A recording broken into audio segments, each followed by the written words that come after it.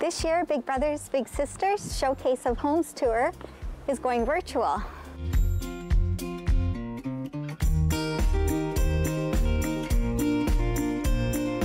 So this year's event is being held on Saturday, October 24th from 10 to 4, and you can watch it from the comfort of your own home this year. Um, obviously, things had to change a little bit this year, and we wanted to continue to bring our Showcase of Homes tour to the community because it's something we've been doing for over 30 years now. Tickets are on sale now and it costs $30 per person or you can purchase four for $100 and all of the proceeds are going back to Big Brothers Big Sisters of Barrie and District to help all the little boys and little girls that we do help in the community. So once you purchase your passport online, you'll be sent a password so that you can view our tour from the comfort of your own home online. And as always, we're going to have seven beautiful and unique homes from Barrie and area uh, on our tour.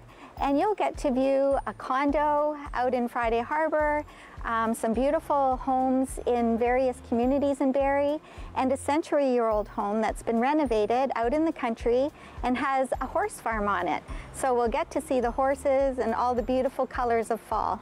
We're holding our Showcase of Homes tour virtually this year because we did not want to cancel it. Uh, we're still serving all the little boys and little girls in the community, young people who need our mentoring programs. And in order to do so, we have to continue to raise funds and match the kids on our waiting list and continue with the matches that have been occurring.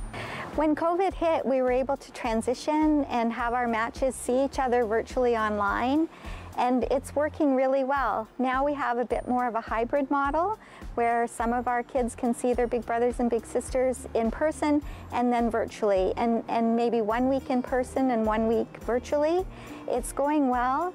But of course, social isolation has been really hard on the kids um, that we serve in our community. So it's really important that they stay connected and that, that our mentors still see them and that new mentors come on board, especially now as our waiting list grows and connect with the kids for as little as an hour a week. It really is vitally important to their own growth and their own um, mental health and wellness, help them to feel better about what's going on in, in society right now and, and get through it as we are all trying to do. We're really in need of volunteer mentors for the kids on our waiting list and people can go online and find out about it on our website at barrie.bigbrothersbigsisters.ca or give us a call. I'm in the office and happy to take the calls. So one of the challenges since COVID started is of course trying to transition our fundraising events to ensure that we're still bringing in revenue so that we can keep operating the five mentoring programs that we do run.